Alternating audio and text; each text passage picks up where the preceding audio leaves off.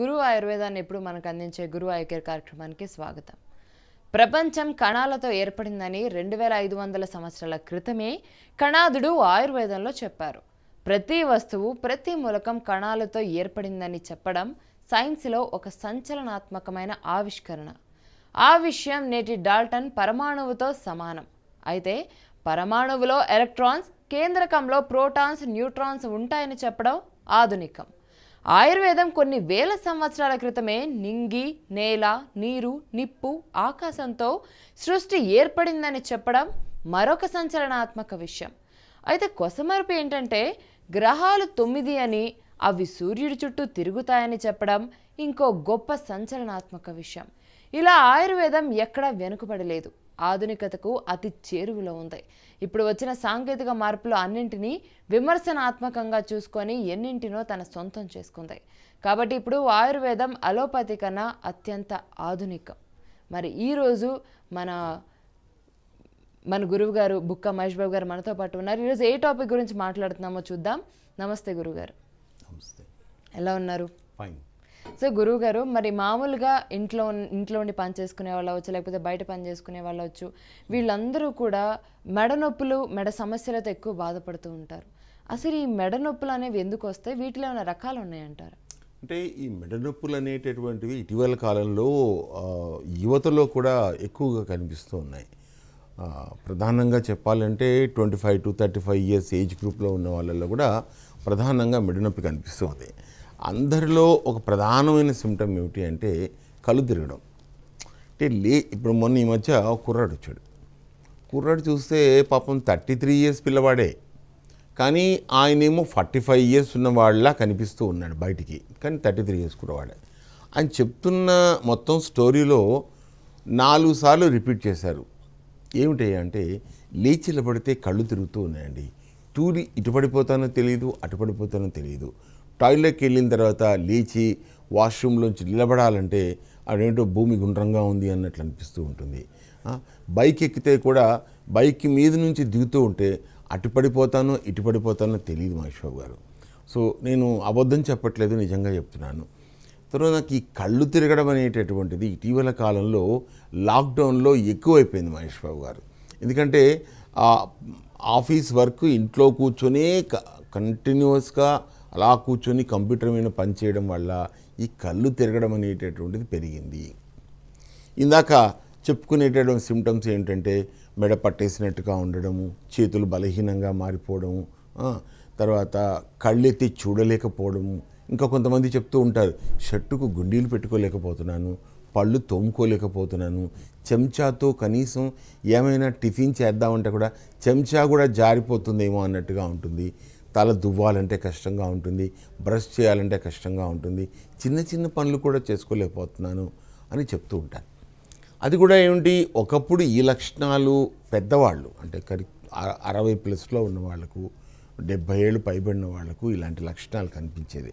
కానీ ఇటీవల కాలంలో అతి పిన్న వయస్కులలో కూడా ఈ లక్షణాలు కనిపిస్తాయి. ఇంకా నీరసం బలహీనంగా ఉన్నట్టుగా అనిపించడం తొందరగా అలసిపోతున్నట్టు అనిపించడం అడుగులు వేస్తుంటే తడబడుతున్నట్టుగా అనిపించడం మెట్లెక్కుతూ ఉంటే జారి పడిపోతానేమో తూలి పడిపోతానేమో అన్నట్లు అనిపించడం. మొన్న ఈ మధ్య కుర్రవాడు లండన్ నుంచి వచ్చాడు సాఫ్ట్వేర్ ఇంజనీర్. ఆయన కూడా ఈ సిమ్టమ్స్ ఉన్నాయి.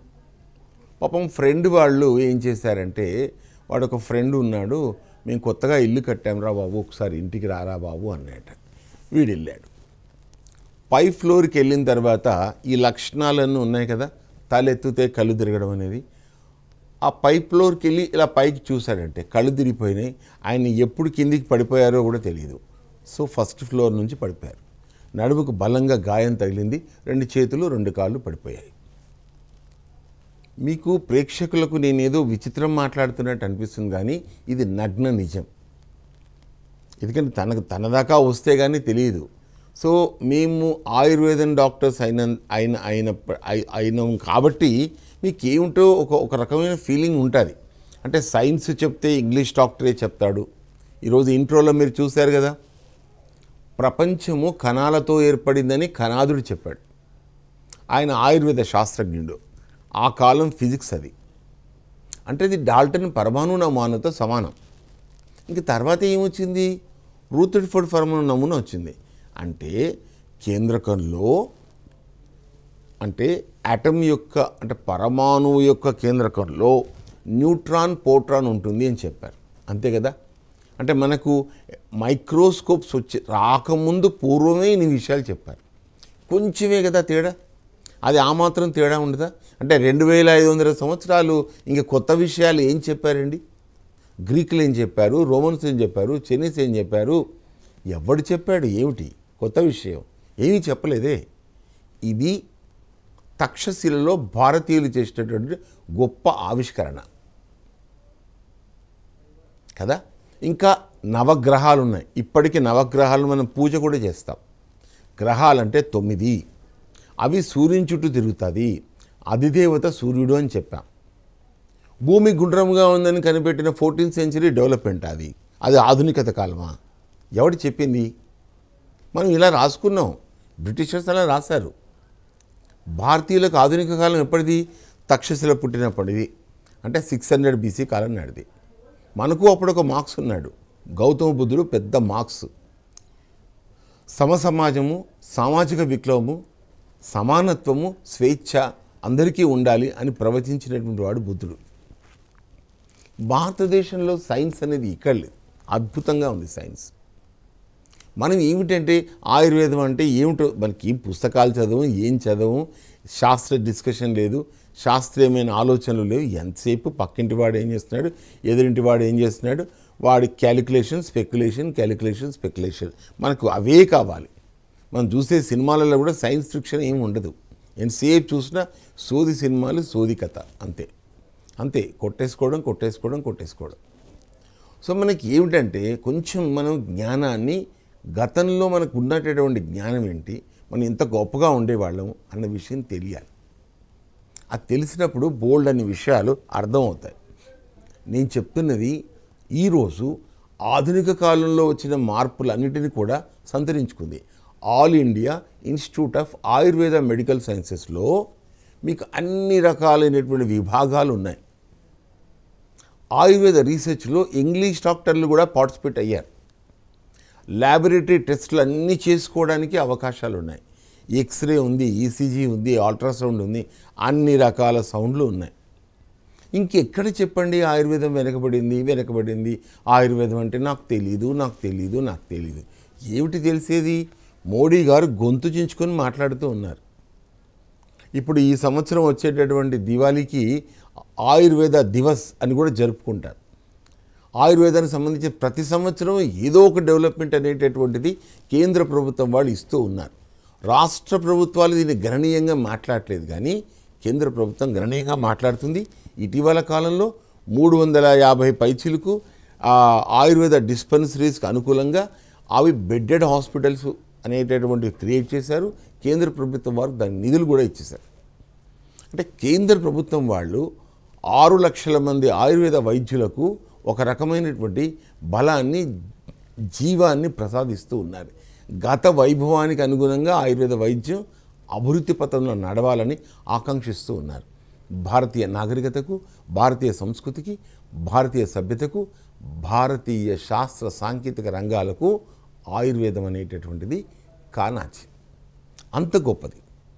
క్రీస్తు పూర్వం కాలం నాటికే కణం గురించి వివరణ ఇచ్చారు శాస్త్రీయంగా అంటే ఎంత ఎంత జ్ఞానం ఉండి ఉండాలి అప్పటికీ? అది. సో కాబట్టి మెడనొప్పి రావడంలో అనేకానేకమైనటువంటి కారణాలు ఉంటాయి సో కాబట్టి ఇటీవల కాలంలో యంగ్ ఏజ్లో ఈ మెడనొప్పులు అనేటువంటివి వస్తూ ఉన్నాయి. అవి రావడానికి కూడా మళ్ళీ అనేకానేక కారణాలు ఉన్నాయి రుమెటెడ్ ఆర్థరైటిస్ వచ్చినప్పుడు మెడ తిప్పలేకపోతాం. సర్వైకల్ కార్డ్ కంప్రెషన్ వచ్చినప్పుడు తల తిప్పలేకపోతాం. యాంకిలోజింగ్ స్పాడిలోస్ వచ్చినప్పుడు స్టిఫ్ నెక్ ఉంటుంది తల తిప్పలేకపోతాం.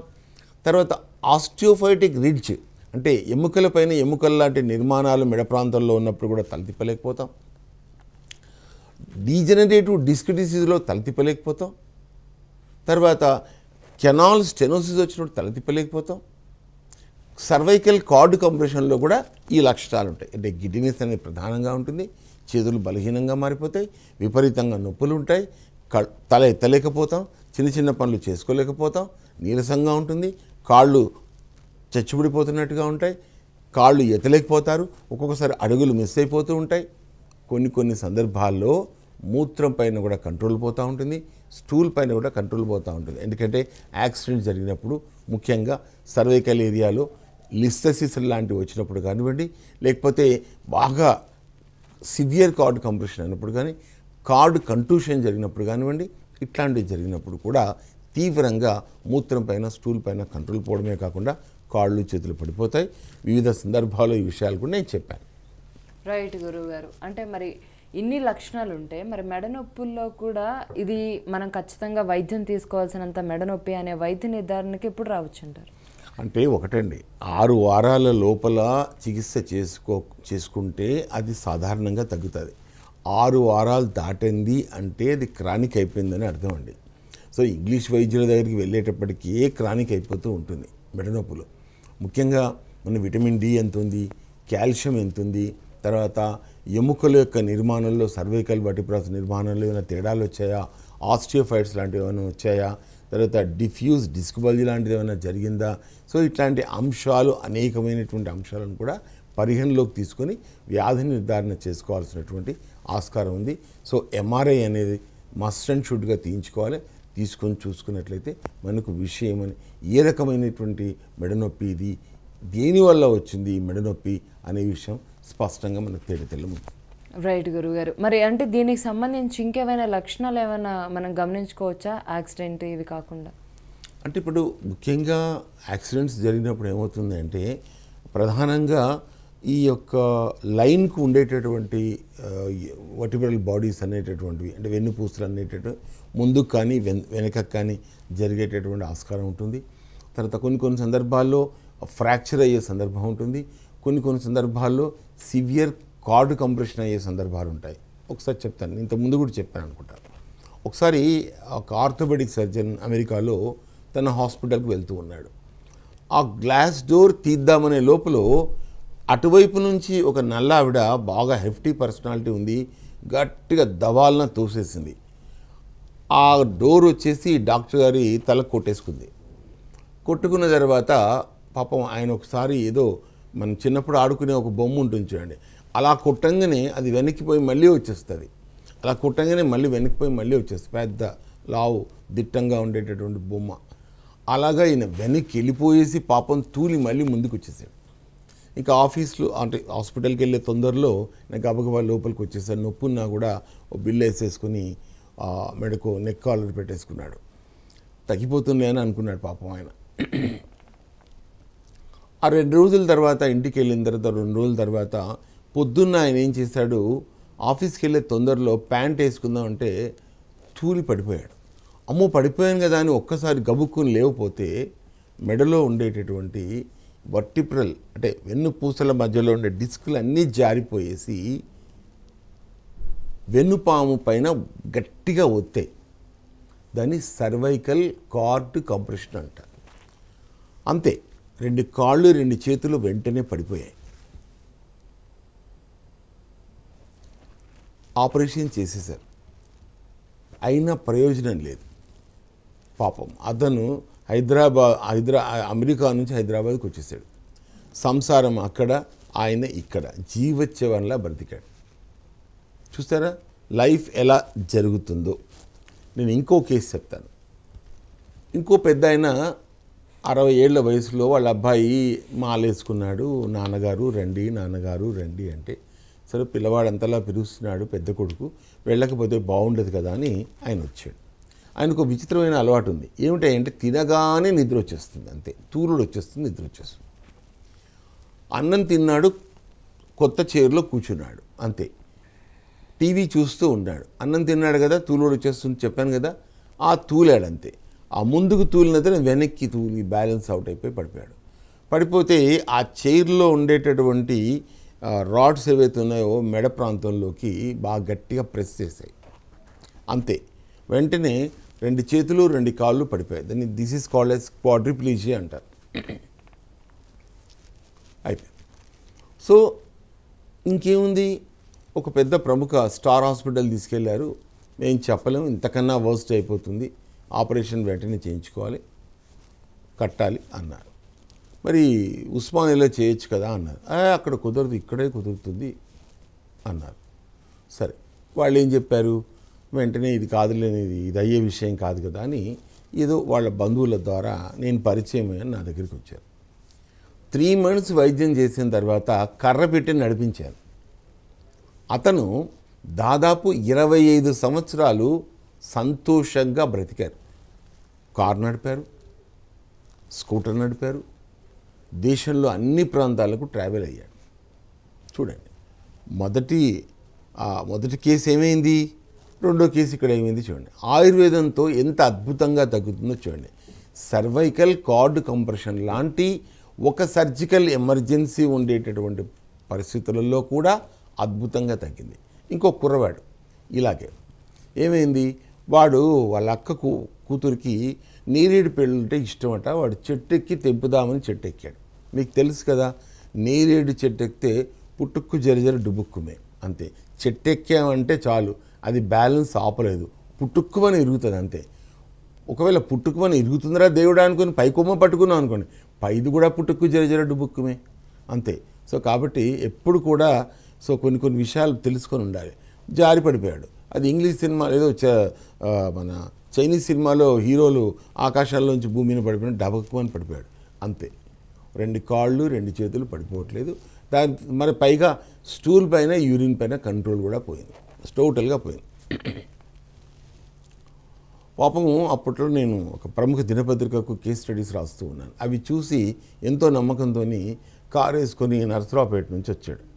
వచ్చిన తర్వాత వైద్యం చేసిన తర్వాత వాడికి రెండు కాళ్ళు రెండు చేతులు వచ్చాయి. అండ్ దెన్ వాడికి ఇంకా సెక్షువల్ ఆర్గాన్స్ పైన కూడా కంట్రోల్ వచ్చింది. అండ్ తర్వాత వాడు పెళ్ళి కూడా చేసుకున్నాడు. అండ్ బోన్ విరిగిన బోన్ కూడా అతికింది. సి. సో ఇన్ని ఎమర్జెన్సీస్ కూడా మేము టేకప్ చేస్తున్నాం. అద్భుతంగా పనిచేస్తుంది. కాబట్టి మనం కళ్ళు తిరుగుతున్నాయి అనేటటువంటి లక్షణం ఏంటి అంటే అది టీకెల్ శాక్ కంప్రెషన్ అని చెప్పాలి. అంటే వెన్నుపాము పైన ఒత్తిడి పడుతుందన్న విషయాన్ని ప్రస్ఫుటంగా తెలియచేస్తుంది.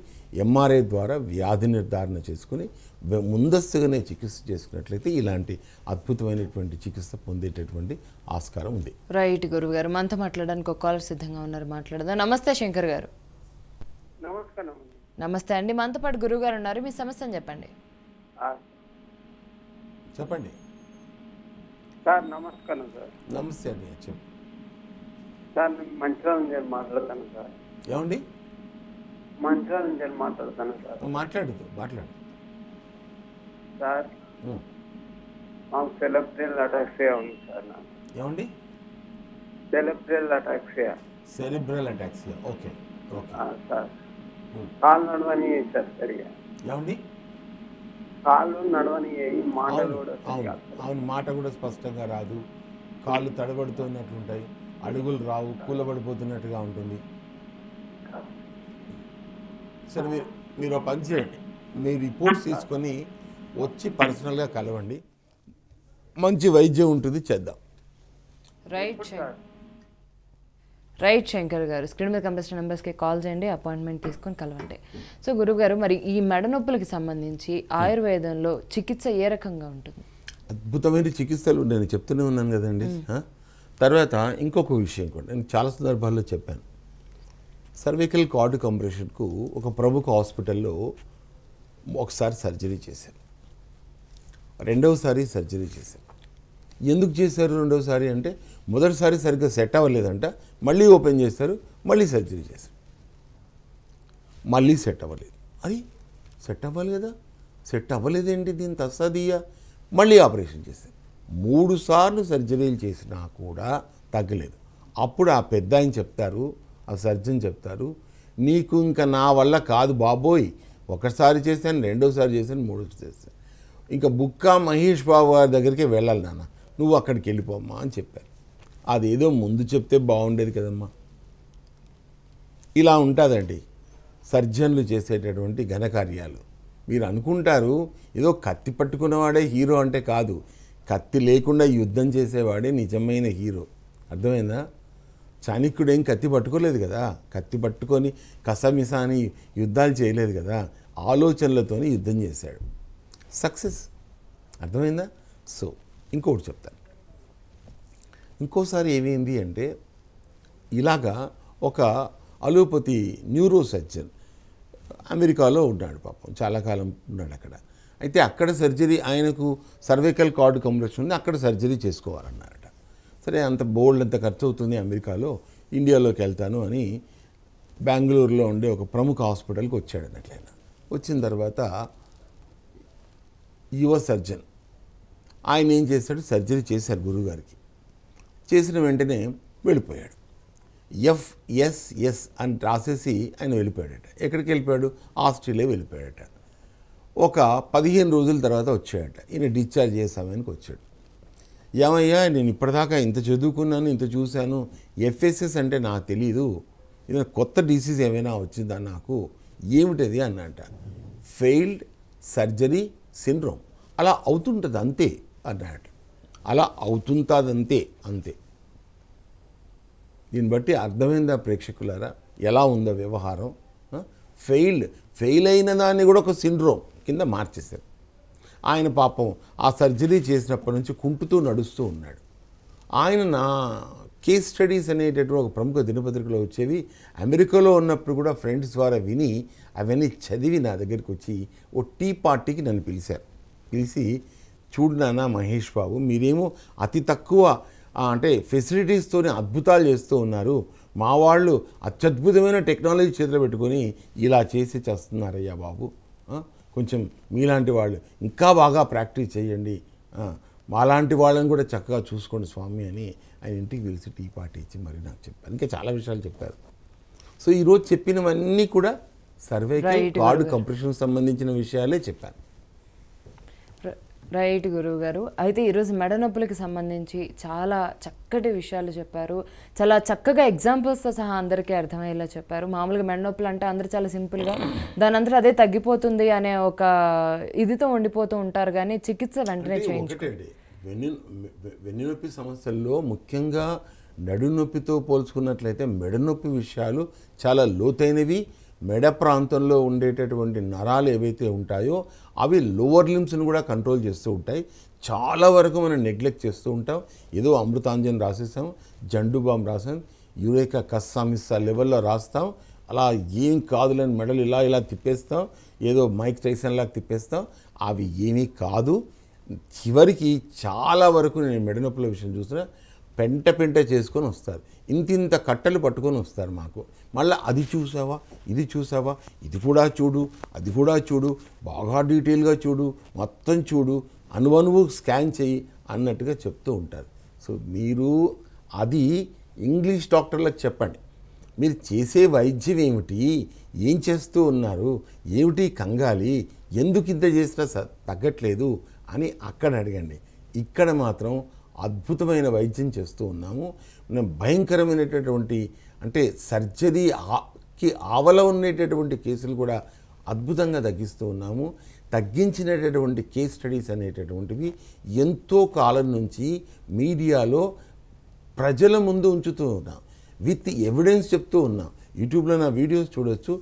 తగ్గినటువంటి వాళ్ళు కూడా మాట్లాడుతూ ఉన్నారు. సో అద్భుతంగా ఆయుర్వేదంలో ముఖ్యంగా గురు ఆయుకేర్లో రీసెర్చ్ ఓరియంటెడ్గా ఈ తగ్గించేటటువంటి టైం బాండ్ పీరియడ్లో అత్యంత భయంకరమైన స్థాయిలో ఉండేటటువంటి టెన్షన్ను మించిపోయి అంటే ఇంకా దిక్కుతోచని స్థితిలో ఉండేటటువంటి ప్రత్యేక పరిస్థితులలో కూడా ఇంటర్వెన్షన్ మెడికల్ ఇంటర్వెన్షన్తో అద్భుతంగా తగ్గించేటటువంటి ఒక నేపథ్యాన్ని గురు ఐకేర్ సంస్థ క్రియేట్ చేయగలిగింది. ఆయుర్వేదానికి దశ దిశ నిర్దేశించి ఒక పూర్వ వైభవాన్ని ఆధునిక పరిస్థితులలో అత్యద్భుతంగా చిత్రీకరించి మీ ముందుంచాం. రైట్ సార్ ఈరోజు మెన్నప్పుల గురించి చాలా చక్కగా వివరించడానికి ధన్యవాదాలు. మరొక టాపిక్తో మళ్ళీ మన గురు ఐకర్ కార్యక్రమంలో కలుసుకుందాం. అంతవరకు చూస్తూనే ఉండండి. రాజ్ న్యూస్.